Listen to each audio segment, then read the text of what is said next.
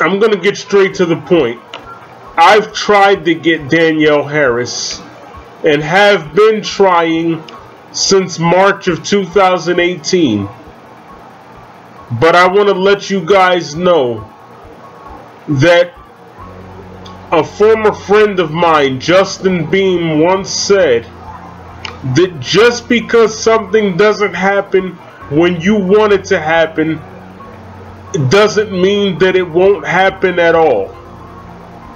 That quote is so true. I've tried to get Danielle Harris. I've reached out and reached out and reached out many times over the years to no avail. But I'll tell you what I'm going to do for you here today. Today, we're going to do something a little interesting. You're going to put your questions down in the comment section. And whoever question I like the best will make it into my interview if I ever get Danielle Harris. Let's go over the rules. Same as always. Nothing rude. Nothing personal.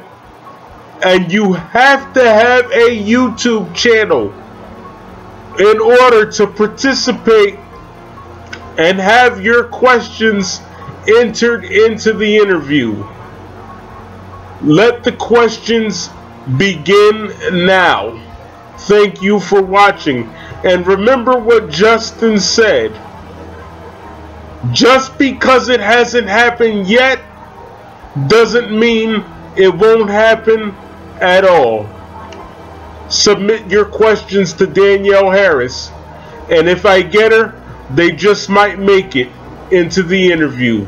I'm the Michael Myers fanatic, and I approve this message.